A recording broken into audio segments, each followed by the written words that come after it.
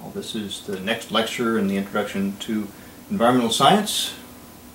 It's a nice picture of uh, the Indian Ocean, actually from Diego Garcia, which is in the middle of the Indian Ocean. We'll be talking this lecture about principles of ecology, still, aquatic life zones. So that's a really pretty picture. Never been there, but I know people who have. Kraken, you know, that mythical beast of the ocean, is real. Take a look at this. Wow. That is an actual real color image of uh, a very large squid. Arctheus speciosa, every time I pronounce my Latin, it is absolutely perfect. yeah, you don't believe that. I don't believe it either. All right. Previously, it was only known from dead specimens. Ugh. 43 feet long, 600 pound cephalopod. Means it moves itself by its head, but that's what squids do. The eyes, about right in there, are the size of dinner plates. They are huge. This photograph was taken in its natural environment, 2,000 meters deep, using visible light, light we can see, of course. We didn't know it was this color. It's kind of a silvery gray color sort of thing. We also did not know that it was a visual predator. It's very dark down here to our eyes. We can't see anything down here. Most organisms can't, but uh, this fellow can. So, what's the outline for this particular lecture? We're going to talk about the hydrologic cycle. Lots about water, of course. Oceans, they are very vast. Shallow marine waters, very, very important in terms of biodiversity on the planet. Uh, approximately 0.2% of the uh, ocean floor uh, harbors 500,000 species. Pretty good number. Marine shores, we talk a lot about them. Estuaries, salt marshes, and mangrove forests are all part of these marine shores. Watersheds, the definition of watersheds. Rivers and streams, which are all very important to us. The watershed defines how those rivers and streams behave. And finally, lakes. And as I like to tell my classes, I could teach for years on lakes, but we won't do that. We'll just have a few minutes of it this evening. So the structure of natural systems, let's look at aquatic ecosystems. First of all, back to this kind of review from the previous lecture. The biosphere, the ecosphere, that life-supporting portion of the Earth. It is a closed system. We're not getting anything from outside. Asteroids aren't dropping a lot of nutrients on us, comets, that sort of thing. Pretty much everything has to be recycled and reused, all those materials. We do break these cycles, and at great risk. It's also a repeated statement from when we talk about terrestrial systems. Aquatic life zones are similar to those terrestrial biomes, but not exactly the same. Terrestrial biomes were much more dependent upon latitude, where you were north or south of the equator. However, aquatic life zones are primarily defined by sunlight penetration, it's how deep you are in the water, and the nutrients available in the water. For marine saltwater systems, coral reefs, estuaries, coastal wetlands are critically important. The deep ocean areas may not seem so important, but they're fascinating. We learn a lot from them. And those continental shelves, those have very distinct aquatic life zones. The hydrologic cycle, spinning disk, the Earth, eh, or part of the globe. Over 71%, 71% of the Earth's surface is covered by water. The oceans contain 97% of all of the water on the Earth. Polar ice caps, glaciers, 2%. Seems like a small amount, but guess what? Most of the water that we use, fresh water, and lakes, streams, and groundwater make up less than 1%. Wow. That's where we get our water from. Very small amount.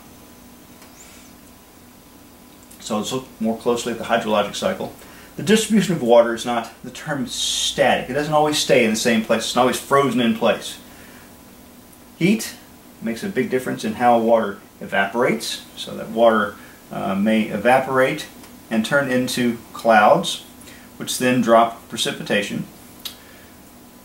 And then that precipitation may evaporate back up and precipitate again, clouds. Precipitation may be consumed by organisms. It may make its way into the groundwater by seeping through the soil. It may also be uh, remain in surface water, lakes, streams, those things. So this is kind of a graphic of the hydrologic cycle. Actually, this shows a lot of reservoirs. Notice that uh, a lot of uh, water is locked up in the ice. Uh, melting of this ice, this uh, 27,000, 27,500,000 square kilometers of ice and glaciers would be enough if it all melted to flood most coastal cities. The atmosphere has a fairly small amount of water and only 13,000 cubic kilometers, that's square earlier, I meant cubic kilometers. The oceans are actually the largest reservoir, talk about reservoirs, of water. 1.3 billion cubic kilometers of water. 8.2 million cubic kilometers of water in groundwater. A very small amount cycles through rivers every year, 40,000 cubic kilometers. So looking more closely at these reservoirs, glaciers, 27.5 million cubic kilometers. The atmosphere, 13,000 cubic kilometers, is the smallest of those, say, uh, uh, reservoirs. Groundwater, 8.2 million cubic kilometers. We actually get our ground, our drinking water, uh, where we are here in Florida, central Florida, from the groundwater. Rivers. Now this is a discharge of rivers over the course of a year, 40,000 cubic kilometers. And the oceans, as I said earlier, they have the lion's share of the water, 1.35 billion cubic kilometers of water.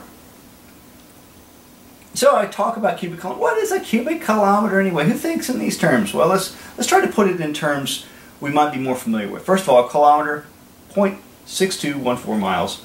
Uh, for those of us who are not yet up with the metric system, like no one around here.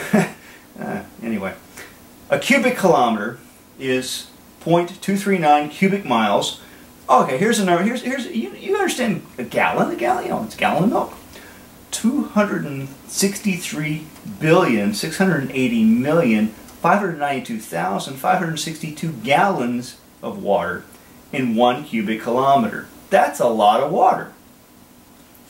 So consider the ocean, volume of the ocean. 1.35 billion cubic kilometers of water. 3.5 times 10 to the 20th gallons of water. That's a lot of water. Again, these reservoirs, they're storage locations. Storage locations. Now, consider turnover time, because there are some reservoirs that hold on to a substance for a very long period of time. We've talked about carbon in a previous lecture. Carbon is locked up in limestone for uh, millions of years. Same way with oil. In this case, there are areas that hold on to reservoirs that hold on to water much longer than others. So the atmosphere probably has the shortest retention time. It takes only nine days. Nine days for, this is the turnover time, for all the water, water vapor mostly, in the atmosphere to be replaced, to be renewed. Rivers, uh, the average is between 12 and 20 days. I think some rivers are long enough, it takes longer than that, but uh, it's a fairly short period of time. Lakes can be as short a residence time, short a turnover time as 30 days.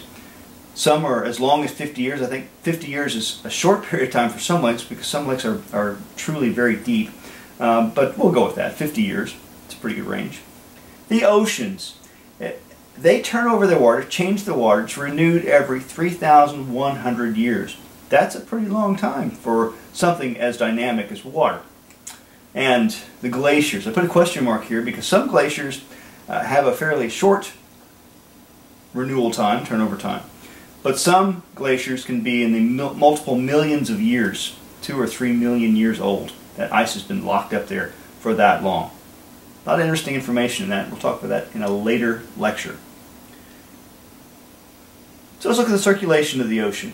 We've seen this sort of a graph before, where in the northern hemisphere, for example, we have a clockwise rotation of these currents. We have this uh, Gulf Stream current carrying that warm water all the way up there. We'll see how important that is.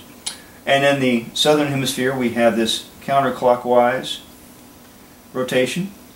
And those are the way those currents circulate, carrying some uh, uh, nutrients and actually they carry heat. And it's very important. We'll see that in distribution of uh, certain plant types, certain aquatic life zones uh, later in this lecture. This is another spinning disk. This happens to be the Pacific Ocean. I didn't talk about this earlier. This is actually Google Earth, Google Earth image. Uh, you can probably see that. Uh, it's my favorite uh, tool for making these uh, these maps.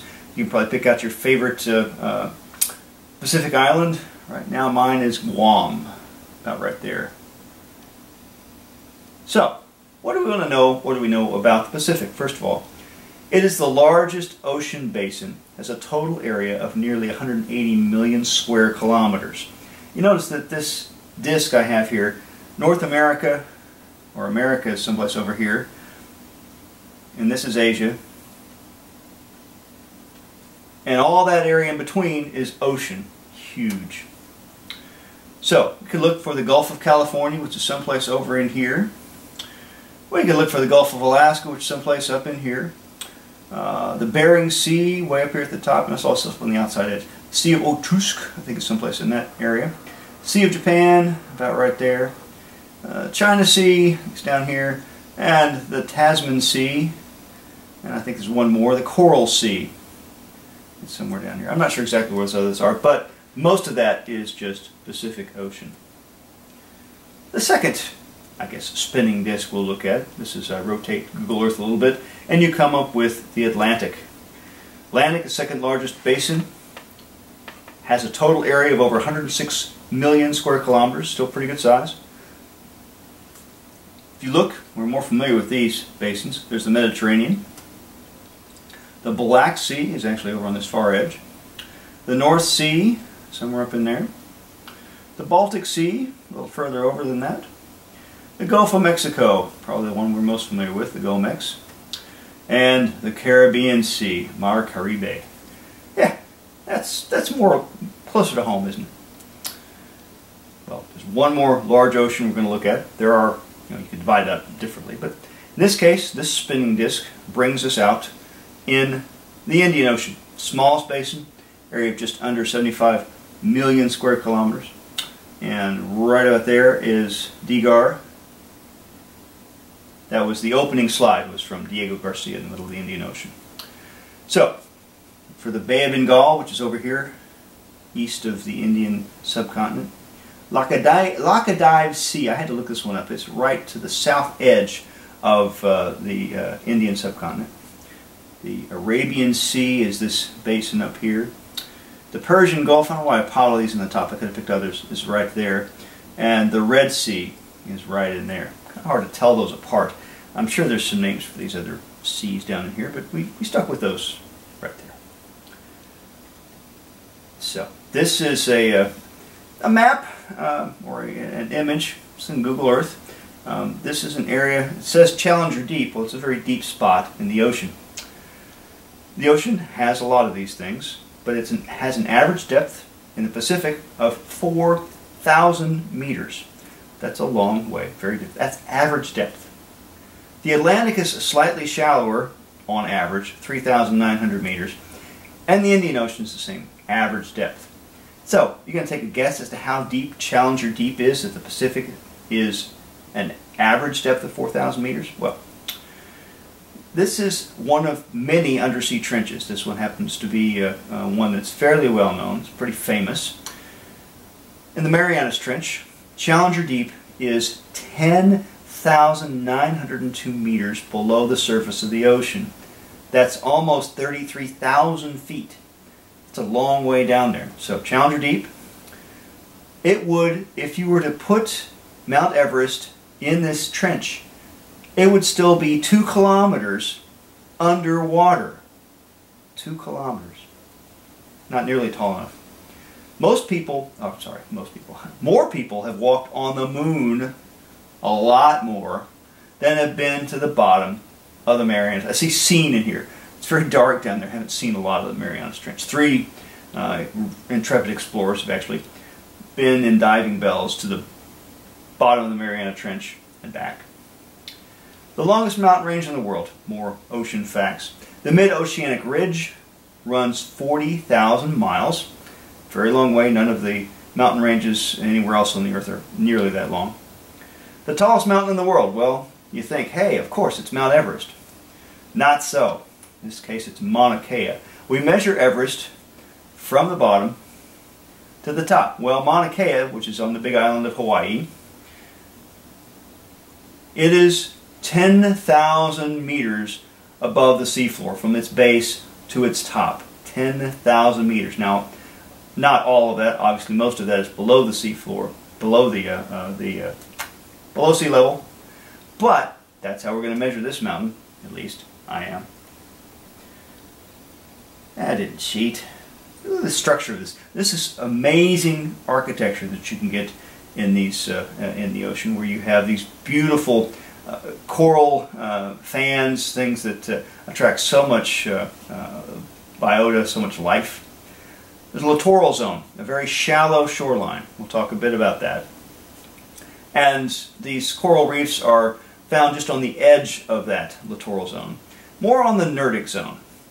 That's from the coast to the margin of the continental shelf.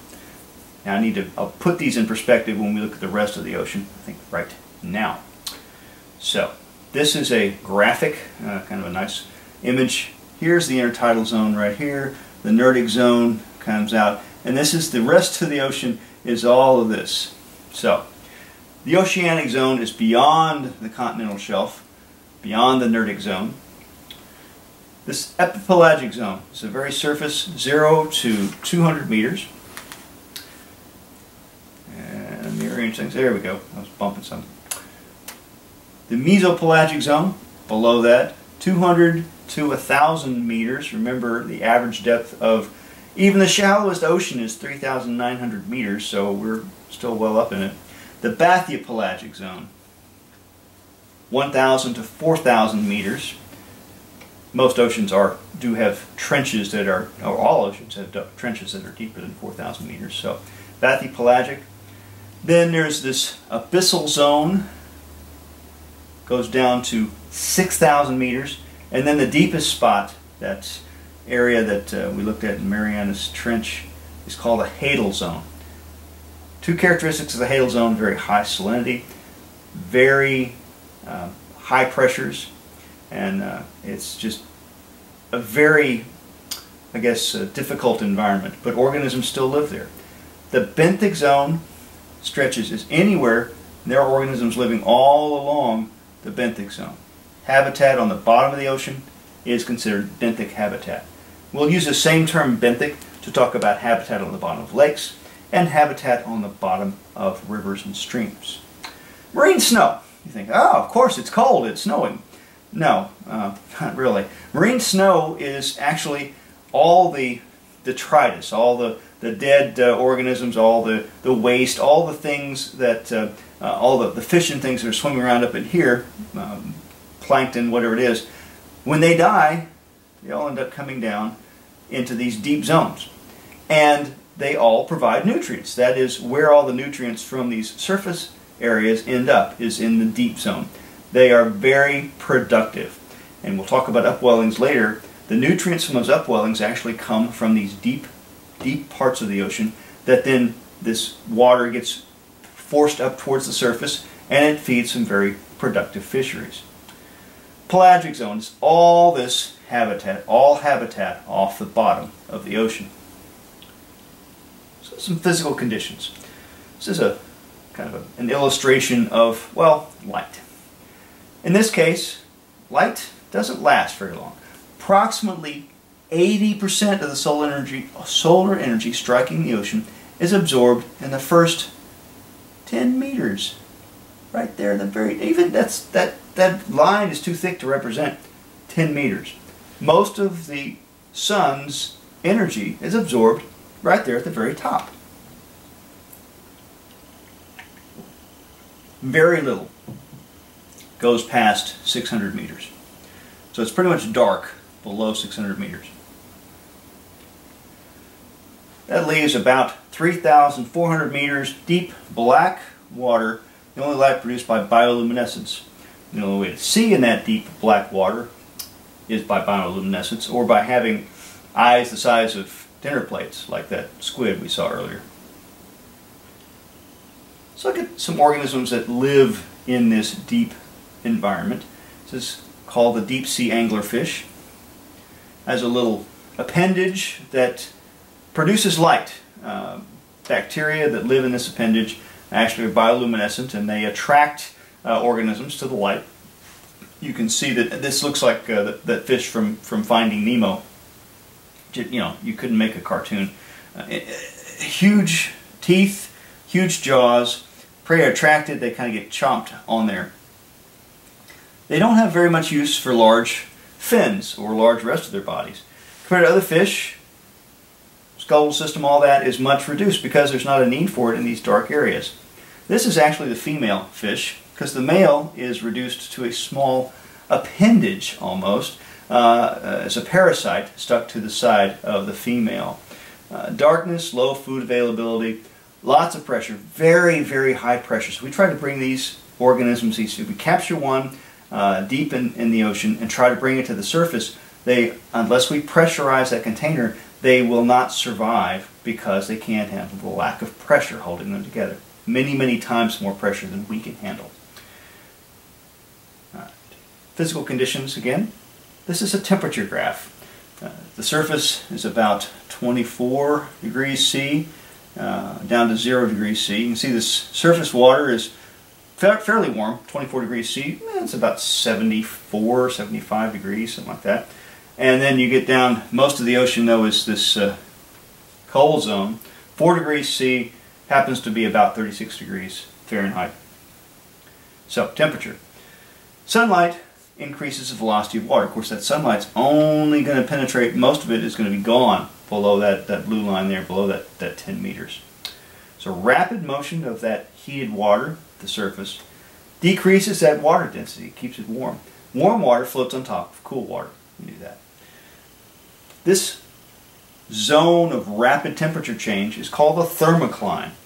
Water goes through, uh, changes uh, temperature rapidly with depth. And the surface layer tends to, to mix quite a bit. There's a lot of, of activity in terms of the wind-driven motion in this top. In this case, they're showing it's 500 meters deep. Uh, it may not be that deep, but at any rate creates this thermal stratification because that surface water is, is circulating the deep water that is about 36 degrees Fahrenheit all the way to the bottom. You can see that it's vastly cold. Um, that deep water is cut off from, it's isolated from that surface water. Looking at water movements, oceans are never still. Wind-driven surface currents across the open ocean create these things called gyres. Gyres, just kind of a big old you saw it on the other map where I had the, the, uh, um, the ocean circulations. They move to the right northern hemisphere, left in the southern hemisphere. I spoke of marine snow and the importance of that. These deep water currents cause this upwelling, bringing all that high nutrient deep water uh, up towards the surface. There is a steep uh, coastline, North and South America, that uh, basically forces those deep currents, forces that water towards the surface, and that feeds, provides nutrients to the algae, phytoplankton, that actually drives a very productive fishery off both the uh, west coast of North and South America. Salinity is a very important part of the ocean. Maybe we take it for granted, I'm not sure um, that the ocean's salty, but how salty is it? Uh, open ocean salinity varies from 34 parts per thousand to 36.5 parts per thousand. That's not a very wide range, actually. The lowest salinity, and you can probably puzzle this out, occurs near the equator. Lots of rain. Precipitation exceeds evaporation near the equator. And then those higher levels of salinity occur in those subtropical areas where evaporation exceeds precipitation. What kind of saw some similar trends when we're talking about biomes. Salinity bands correspond to the latitudes of rainforests, between 10 degrees north and south of the equator, and deserts, 30 degrees north and south of the equator. Deserts are where the high salinity water is because it's drier there. Let's look at oxygen. Liter of air, we take this for granted because we breathe this. We're adapted to having a fairly oxygen-rich environment that we, we live in. Contains about 200 milliliters of oxygen at sea level. A liter of seawater contains at most 9 milliliters of oxygen. So, how do these fish get their, their oxygen, to the organisms? They have to have very uh, uh, extensive uh, gill systems. We'll talk about this in a later chapter. Typically, the concentration of oxygen is highest near the ocean surface and decreases as you go further in depth. In the ocean, the minimum usually is reached about 1,000 meters and then it remains, remains pretty much steady all the way to the bottom. Look at the biology of the oceans. This is uh, an image of worms deep uh, associated with a deep sea hydrothermal vent. They do some interesting things. Most of the power, if you will, the sunlight that's fixed in the ocean, comes from photosynthetic organisms. Photosynthetic organisms, uh, algae, phytoplankton, limited to that lighted zone, that lit zone, the epipelagic zone.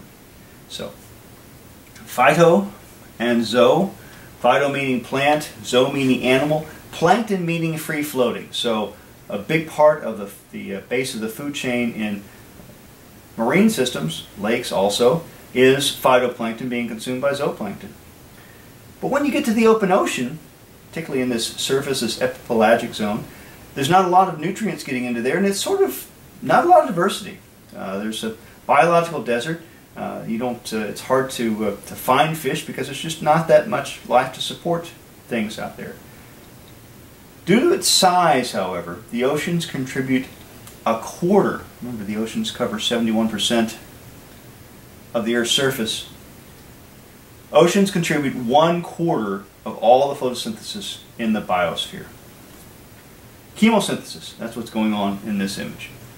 Chemosynthesis occurs near some undersea things called hot springs, hydrothermal vents on the bottom, and essentially what's happening is that these uh, bacteria have a symbiotic symbiotic relationship. Um, I'm sorry, the uh, yeah, symbiotic relationship. Bacteria have a symbiotic relationship with these worms, and the bacteria are able to take chemical, take sulfur out of the water, uh, and use it for energy. So they produce the sugars, and the worms are the one that the, uh, provide them with other nutrients, uh, and that's quite an ecosystem growing down there.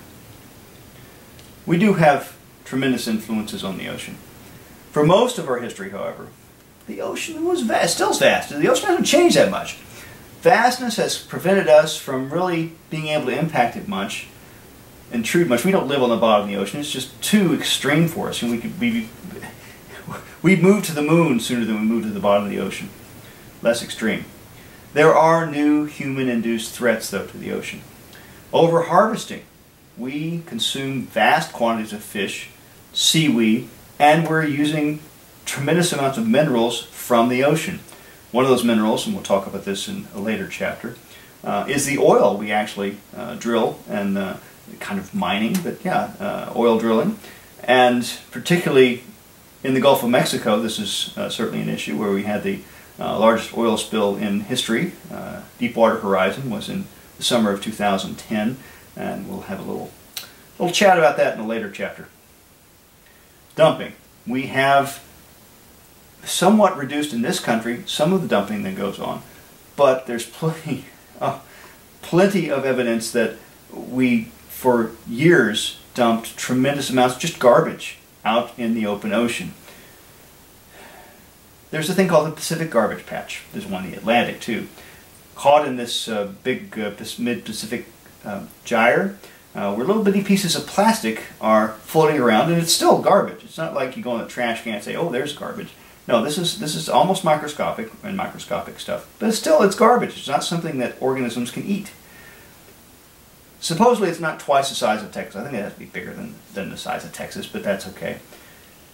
The estimates of the size of the garbage patch, which is out there, based upon the analysis of these microplastic particles in the water. Micro, you know, basically, you take a water bottle, you break it down little pieces, which is what happens in, in the ocean, and uh, that's what they're calling a part of this garbage patch. Well, it is garbage patch. It's something we put out there. Fish can't eat it, although they try to. Birds can't eat it, although they try to.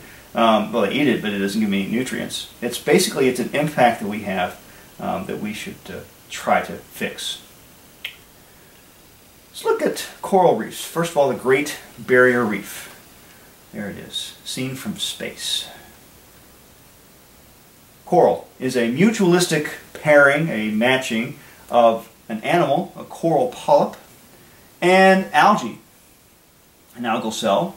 Uh, the cell called zooxanthellae, and that's actually a type of plant. The plant is the autotroph, making the, the sugars, and the animal actually provides structure and provides other nutrients to the algae. It is a mutualistic relationship. Both these organisms benefit. This particular relationship, mutualistic relationship, forms the largest living structure on the Earth. We use that shorthand GBR, Great Barrier Reef. It's 1,600 miles long. It stretched from Miami to Boston if it were off the east coast of the United States. It's a long way. It harbors, is home to 30 species of whales, 1,500 species of fish, 17 species of dolphins. It's still being impacted though. Now what supports all of this life, all the whales, fish, dolphins, in this biological desert in terms of nutrients, relative low nutrient environment? Coral. This mutualism is what does it. Now what is coral? What's the other thing about coral? I guess we'll get to that in another slide. I'll talk about that in a second. Um, follow this link to read more about the Great Barrier Reef in Live Science.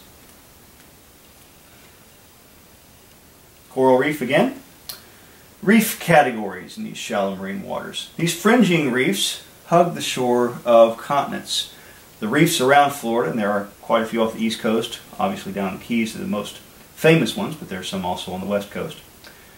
Barrier reefs stand between the open sea and the lagoon. The Great Barrier Reef protects the uh, eastern shoreline of Australia, the whole continent. And then there are these things called atolls. Coral inlets built up from submerged ocean islands. I showed you that picture earlier of Diego Garcia in the Indian Ocean. It is a coral atoll. It's a kind of a circular um, uh, lagoon, if you will. It's got uh, coral all the way around it, except for one little opening. Coral reefs are estimated to be home to half a million species. To put this in perspective, scientists have only identified, well, maybe about 2 million species total in the Earth, on the Earth, on the, on the planet. Coral reefs only occupy 0.2% of the ocean floor. Very, very small amount. So the number of species, the biodiversity in here is just astounding. It's very, very important. Now, how does coral, how does coral actually build up a reef or build any sort of structure?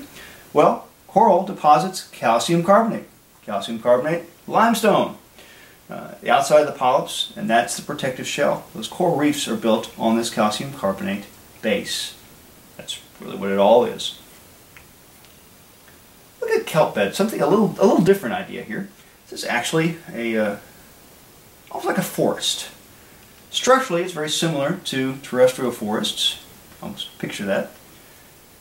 As a canopy at the water surface. You can see all these fish grow in water up to 40 meters deep. That's pretty deep. Home to lots of species of fish. Other animals that live on the kelp leaves. Uh, even there are some mammals that uh, rely on kelp forests for their sustenance. Not, not talking about fish, I'm talking about things like otters and things like that found in temperate waters, not too hot, not too cold, between 10 and 20 degrees centigrade in every ocean. And one thing they don't tolerate is siltation, so you won't find them downstream from the mouths of rivers um, at all. Uh, that's just one thing. So look at these shallow marine waters. So again, these are the locations of those coral reefs, primarily in these tropical zones. And then we have, oh, Currents deliver oxygen and nutrients. I'll talk about uh, the uh, kelp forests here in just a second. Biologically, pro biological productivity depends upon how well these areas get flushed, removing nutrients or bringing nutrients in.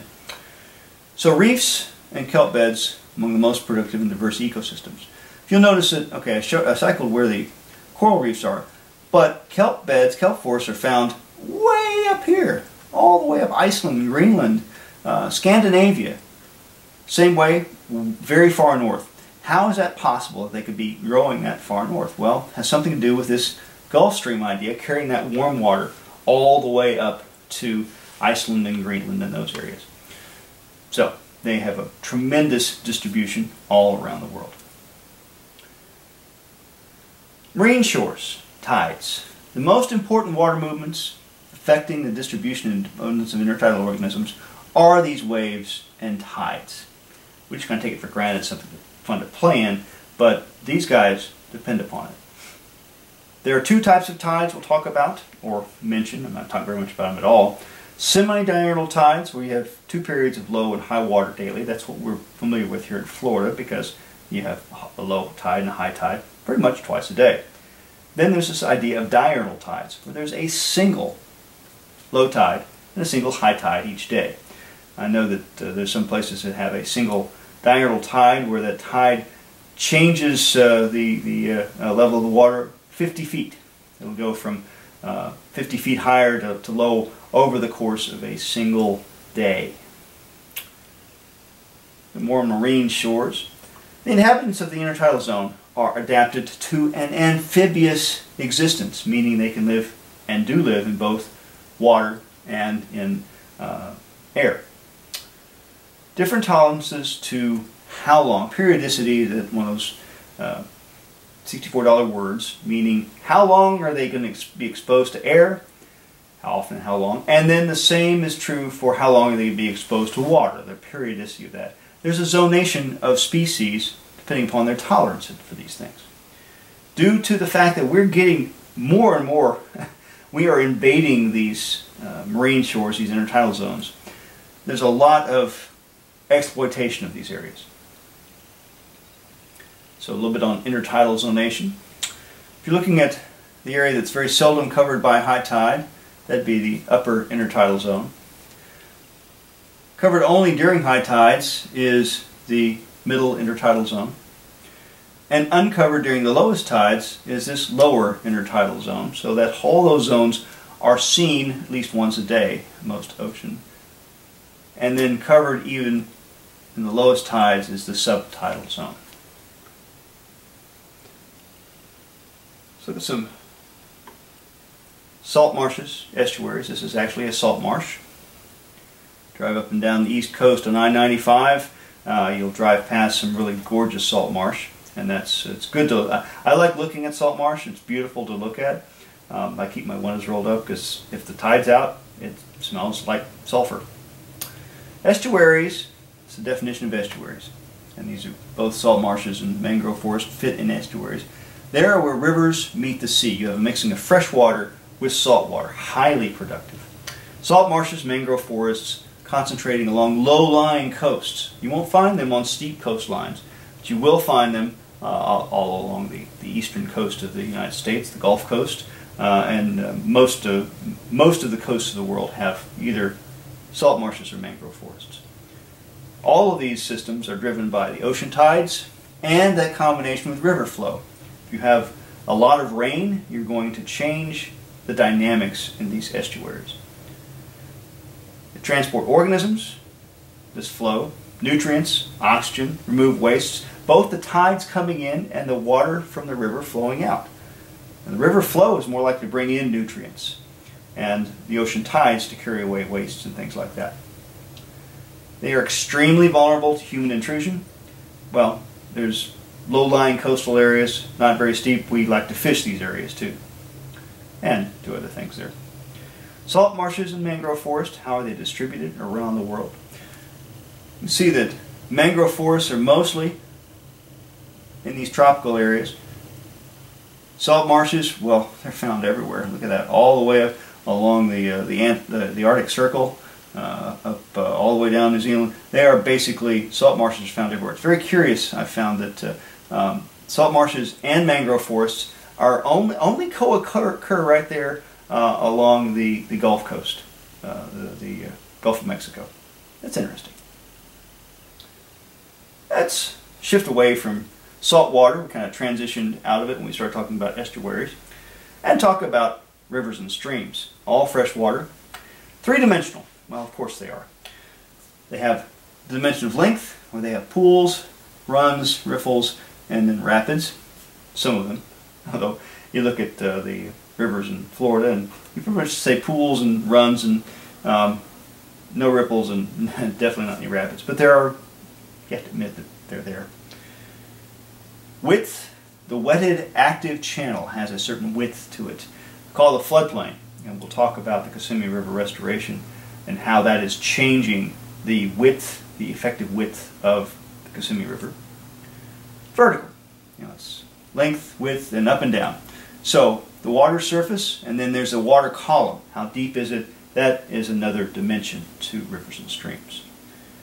This whole idea of riparian zone. It's a transition area between the aquatic and the upland terrestrial environments.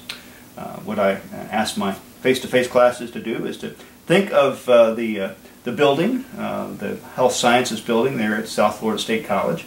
Walk out the back door and you will be uh, uh, in cabbage palms and pine trees. And if you keep going, in this case to the south, you will walk through the riparian zone, which leads into Lake Glenada. lake Glenada being the lake that's right on the right next to South Florida State College dimension of stream structure. This is a prettier picture than I could have drawn. So you have this length idea of uh, the uh, river. And then width. Along this width, you have this floodplain area. You have the active wetted channel. Uh, and then the depth comes into play over here, where you have water column, organisms live there. Organisms live, once again, at benthos, it's a benthic zone. Same benthic zone that we saw, that's where organisms live on the bottom of a river. Then there's this idea of the hyporheic zone and the phreatic zone. Organisms live, this is where groundwater is coming into the river. Hyporheic zone is the transition zone.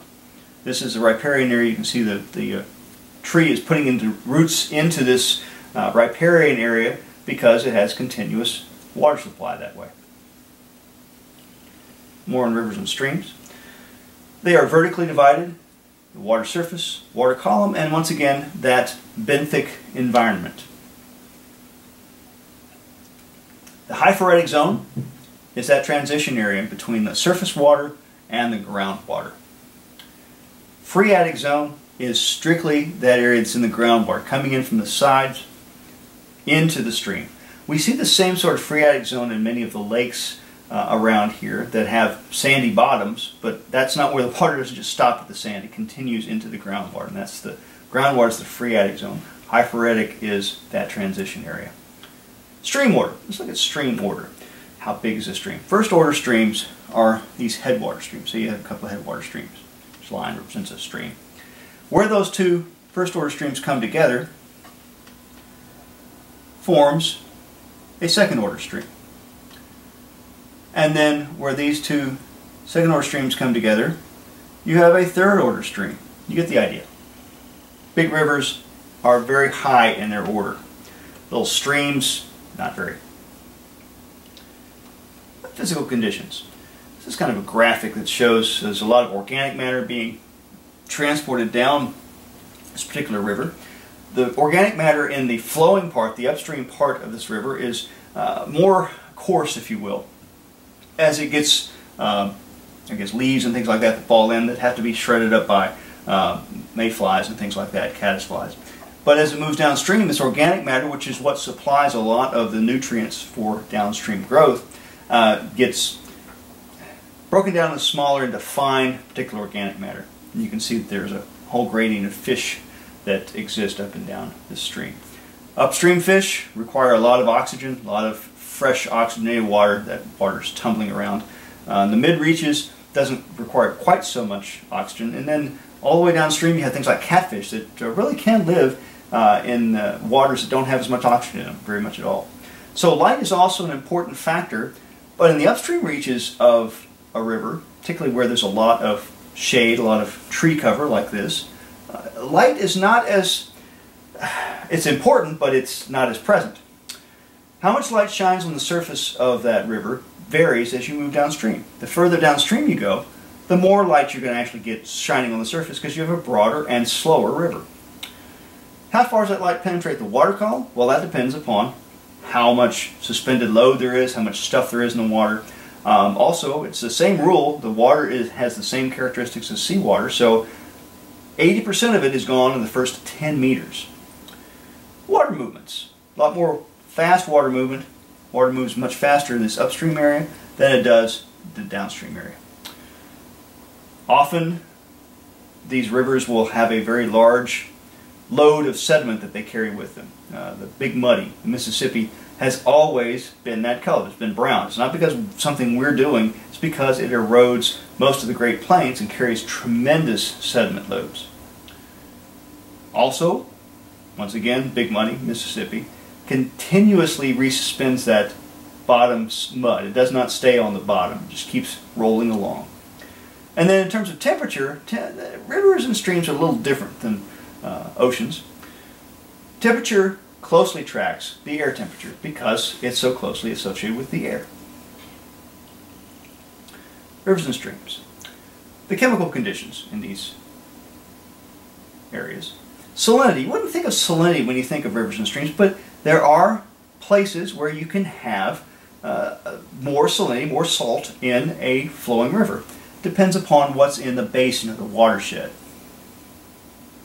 in terms of the soils. Color. Color is uh, something you wouldn't think of with rivers. We have rivers uh, in Florida that are considered black water rivers and up and down the uh, uh, coastal areas, particularly in the, the, southern coastal areas of the United States, because they receive a great deal of uh, tannins from the soils, from the muck soils. Uh, if, if a river basin, river watershed is primarily sandy or rock, you're not going to have a lot of color in it.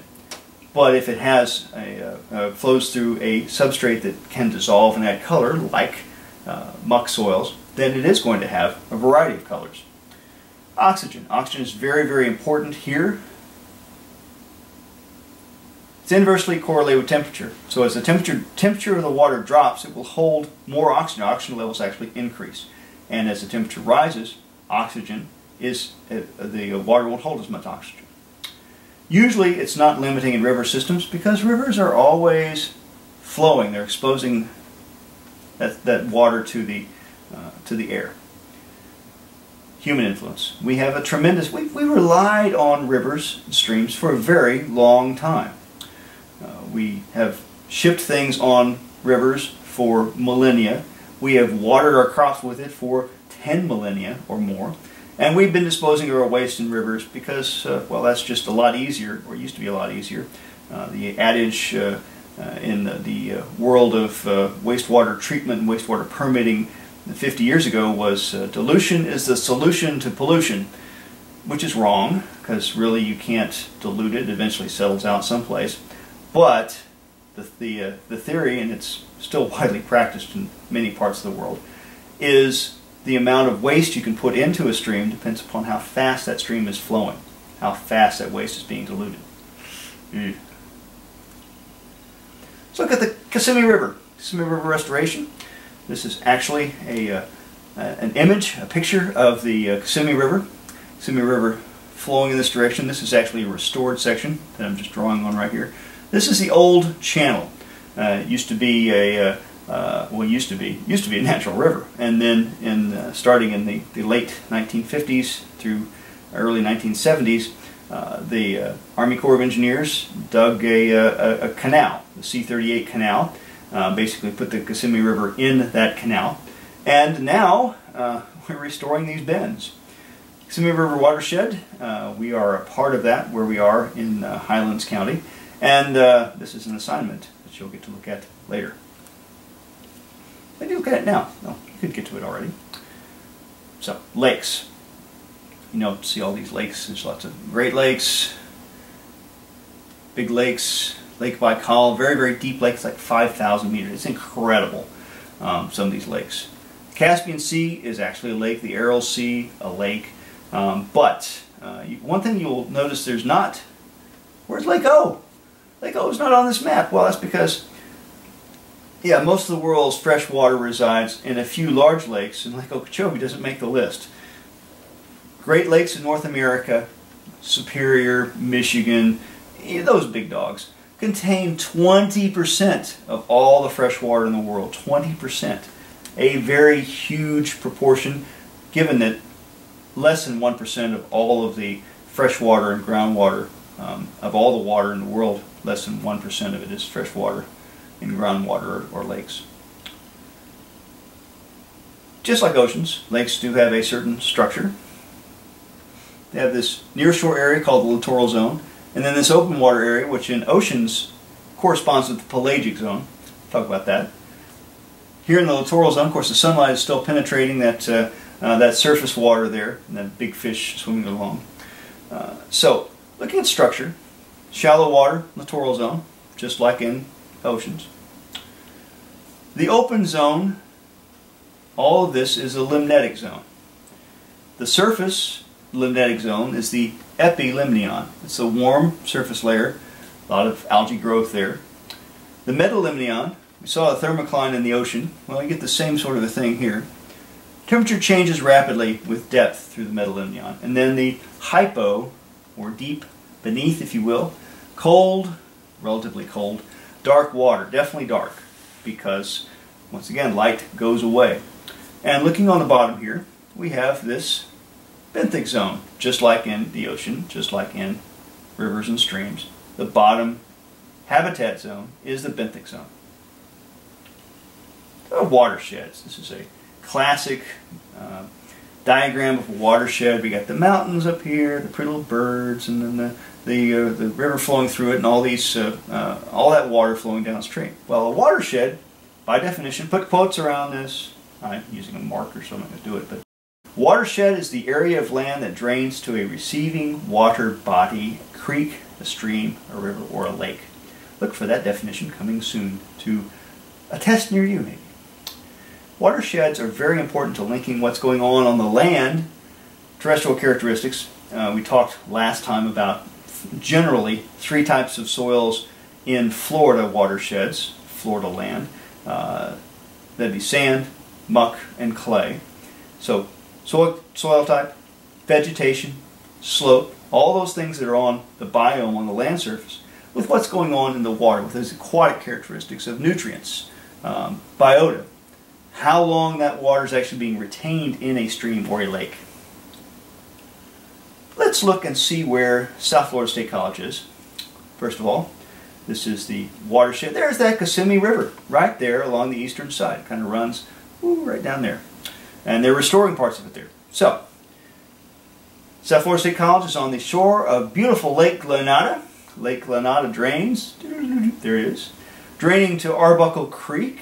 Arbuckle Creek then drains to Lake Istokpoga. Got a whole thing on Lake Istokpoga. I could spend the whole day talking about Istokpoga, but I won't right now.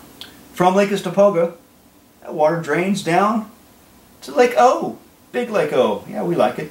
Eventually, after it leaves Lake Okeechobee, it gets to the Atlantic Ocean, the, the uh, Gulf of Mexico, depending upon which way it is directed, uh, or the Everglades. A little bit makes the Everglades and out to Florida Bay, but not nearly enough. So the Everglades, St. Lucie Estuary on the east, Caloosahatchee, say that three times fast, Caloosahatchee Estuary uh, on the west coast that actually uh, flows uh, through uh, Fort Myers.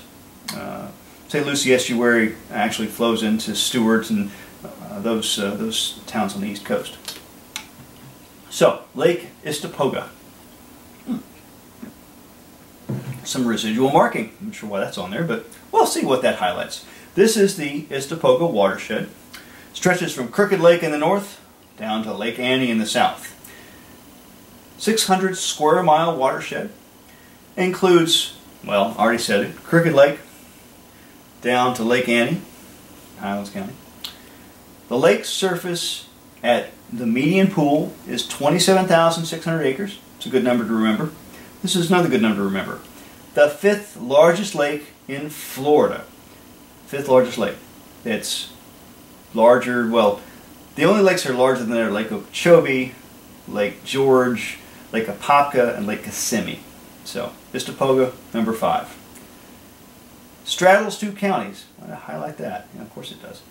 The lake, oh, this is cool. The lake, you think of 27,000 acres, it's going to be vast and deep. It, dadgum shallow, 1.2 meters deep. Maximum 1.2 meters is less than 4 feet. Maximum depth, if you really stretch it, of not quite 12 feet, and that's in a very few places. The name of Ist name Istokpoga is a uh, Native American name. Um, lakes that are shallow like that, particularly they're long like this, um, they can develop waves very, very quickly. The wind can whip up waves and the waves will get very high without warning. So what apparently happened uh, back in antiquity, and even not so much back in antiquity, um, the lake, uh, uh somebody would be out on the lake in a small boat and the waves would suddenly uh, whip up and dump the boat and that'd be the end of the person out on the boat. So Istokpoga literally means men have died here. Uh, you won't see too many of that on those. Uh, that's not exactly a slogan for tourist development, is it? Very large littoral zone in Lake Istokpoga. Right, this is an airboat trail right here, and that is the littoral zone. You can kind of see where looks like uh, uh, four-wheelers been going up and down there, but that's actually where you run airboats. This whole vast area, all that is vegetation, and it's all wet. Then immediately next to it is this open water limnetic zone. So you have the open water, here's the littoral zone right here, and then the limnetic zone, that open water zone. Physical conditions for lakes. Light, you might expect that light has the same sort of limitations in lakes as it does in other systems. Lake color depends upon light absorption and biological activity. How much stuff is growing in the water will limit how deep that light penetrates. Temperature. Temperature has the same uh, influence at, in lakes as it does uh, in the ocean. Lakes can become thermally stratified as they warm, but they're small enough that sometimes the thermal stratification breaks down. Water movement, very important. Wind-driven mixing, particularly of the surface water, that's kind of a, a mixing event. Doesn't look like it, but it is, trust me very ecologically important in terms of the algae growth in the lake. So let's look at some seasonal temperature changes. Uh, this is not a seasonal temperature change around here. We're calling this, I think I'm going to call this Wisconsin. This is from Wisconsin. Start out in the summertime. That surface temperature there is, uh, is pretty warm, well, for Wisconsin. Uh, 28 degrees C. That's pushing 80 degrees Fahrenheit. You can almost swim in that water. But you notice that down deep at the bottom of this little lake it's still 4 degrees C. 4 degrees, about 36 degrees. It's a pretty deep lake, but it is Wisconsin too. As you go into the fall, into October, that surface water cools. Surface water cools to about 14 degrees C, which is you know, 50, 53, something like that. The bottom water is still the same, 4 degrees C, and as it continues to cool into November, all the water temperatures are the same, so the water, the lake circulates up and down, 4 degrees C top to bottom. Then as you go further into wintertime, you actually have ice on the top, 0 degrees C, if you will, frozen. Uh, the deep water is still, um, still 4 degrees C. Warms up into this towards the spring, March. Uh, once again, you have this cycling of water as that temperature all becomes the water temperature becomes the same. There's no stratification, so it, it does circulate. And then in April, you start seeing this stratification redeveloping. More on the chemical conditions. It's actually an idea of uh, how much nutrients are present in a lake. So, oxygen is important. In oligotrophic systems, there is a low amount of biological production, low algae levels, and well oxygenated. We'll just use that as a, a nice image of what a oligotrophic lake should look like. Eutrophic lake, on the other hand, you might guess that's the eutrophic lake. High biological production, high algae, for time, but uh, can be depleted of oxygen. Um, so you have algae, algae blooms, algae blooms that can actually, when the algae die, uh, they uh, can actually cause a dramatic drop in the oxygen levels, and uh, bad things happen. Hey, I made it through this chapter. So have you. Hydrologic cycle. We talked about how water flows, how it uh, water vapor moves around the biosphere. The oceans and how vast they are. Average depth of the Pacific Ocean is 4,000 meters. It's a little fact to remember. And also, the oceans make up 71% of the Earth's surface. They contain 98%, 97%, 7%. Hold on a second. I got to fix that. I got this wrong earlier, so I'm to get it. Ah, don't do that. Come back. The wrong button. I'd gone all day without doing that. There we go. Now then, 97%. Someone would have called me on that one for sure. 97% of the water uh, on the earth is in the ocean. It is salt water. Talking about shallow marine waters, that's where coral reefs are found. 0.2% contains 500,000 species. Marine shores, we talked about uh, kelp forests, those sorts of things. Estuaries, salt marshes, mangrove forests, it's where fresh water meets salt water. FW is my shorthand for fresh water. Yeah, short. Rivers and streams, we talked about how they have length and width, the width of that floodplain, and depth. And we also talked about lakes. I could spend a lot of time talking about lakes. Pogo, fifth largest lake in the state of Florida. Alright, little note to leave you with. I don't know whether I made this an assignment or not, but it's very interesting reading. This uh, is a research vessel, if you will, called Nereus. It's a hybrid remote op operated vehicle. Nereus, named after a mythical Greek god. Fishtail, man's torso, and this is actually what Nereus looks like. Nereus was the uh, vessel, if you will, remote operated vessel, that was used to explore Challenger Deep, uh, among other deep parts of the ocean. Read about it. It's interesting. These are the references. Environmental Science, Daniel Chiras, The Essentials of Ecology, Miller and Spoolman, Ecology Concepts and Applications, Manuel C. Molles, and Elements of Ecology.